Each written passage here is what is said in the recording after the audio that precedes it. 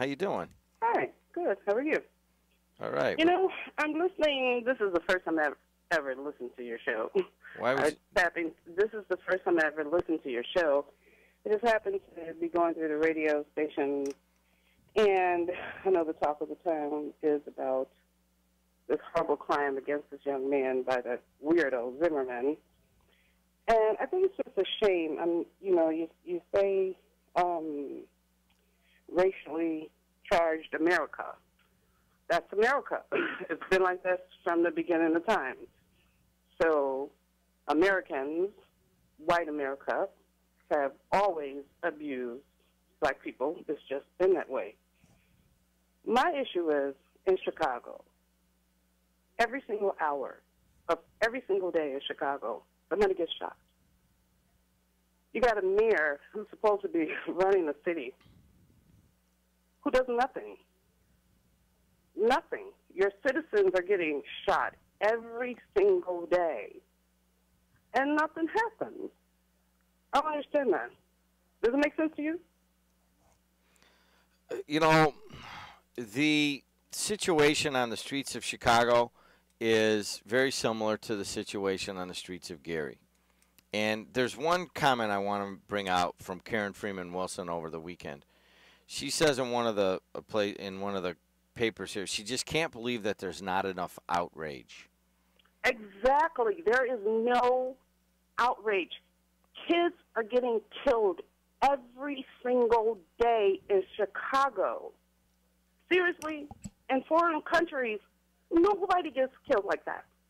Not nowhere. Nowhere. If a baseball team or a football team didn't win the championship or something, what are they going to do? They're going to fire the coach, right? Because they're not bringing in money to the whatever. But you got a mayor whose citizens are being killed every day and shot every day. What does he do? Nothing. Well, I understand your frustration with Rahm Emanuel, and I could understand your similar frustration with Karen Freeman Wilson because both of these mayors are in, in almost the exact situation where it's rampant, mostly young black on young black murder. Exactly. Nobody cares because black people are killing black people. Nobody cares. Uh, Nothing's going to happen until the black kids go kill the white kids. Then it's going to be an outrage. Now it's not an outrage that every single day somebody gets shot in Chicago. It's not an outrage because they're only black people. It well, doesn't matter. well, I mean, I, I can hear the frustration and the outrage in your voice, but are you surprised that there's not more outrage in the black community over this? I am. I'm very surprised. I don't understand it. It's Yeah. not making any kind of sense at all to Yeah. allow this to happen.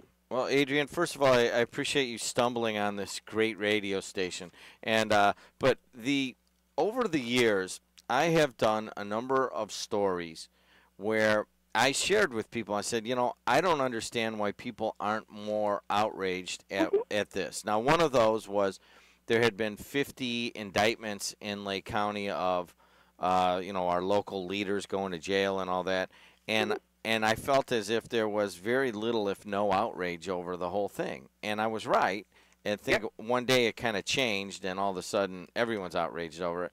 But for a long time, I didn't understand it. And then it seemed like uh, maybe about a year and a half ago, it just kind of changed on a dime. I suspect that a similar thing will happen here with the amount of murders in Chicago and Gary. That at some point that will change on a dime and people will start paying attention. Not just black people, not just white people, not just Hispanics, everyone. Okay? But it hasn't happened yet. You could No, sit here and you could rip on Rahm Emanuel or Karen Freeman Wilson or the, the, the police or whatever, and the shooting continues. It does. And they know where the shooters are. They know where the gangbangers are. They know where the crime is. They know who's selling the drugs. They know all of that. And they do nothing. They let the guys sell the drugs and trade and do whatever. And they let them shoot each other. They don't care. You can call the police when they get shot. Nobody comes out. No, no, until it's over because they don't want to get shot. And I don't blame them. But who cares? Nobody cares. The little kids get shot every day. The lady walking, going to work, she gets shot standing on the bus stop. Come on, seriously? All right, hey, uh, hang up and listen. Thanks a lot. I appreciate your phone call. Thank you. There it is. There's Adrian. As you know, she used. I know Bill Baker's guy shaving his rather boyish face right now. Uh, Bill, of course, the head of the River Commission and a uh, kind of a big player now in development around here. Um, but anyways, uh, he was my partner on the Calumet Press, and often he would say, "Well, you know, we need to be covering this, and we need to be covering that," and we put ourselves out there a few times, and you know, kind of made, "Well, why aren't more people upset about this or that?" And then I learned a kind of a couple of valuable lessons early on. Is that what I think people should be outraged about or might be outraged about that doesn't always coincide with what people are outraged about. And the killing in Gary and the asking uh, to the state police to come in and help us out, and the killing in Chicago. I mean, all we really uh, nobody. It's not a. Maybe it's because it's mostly black on black.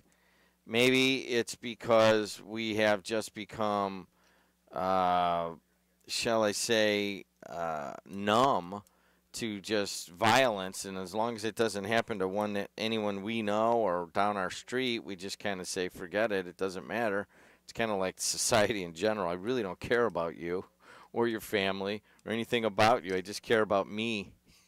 And maybe that's just how it is. Maybe that's the defense mechanism we all have to do to get by day to day. I don't know. I don't know. I share this woman's frustration in understanding why there's not more outrage about what's happening And, you know she's using Chicago, but I'm going to use Gary. I mean, you know, I got long roots in Gary, and I just can't believe that Gary has come to this. I literally don't. And here's.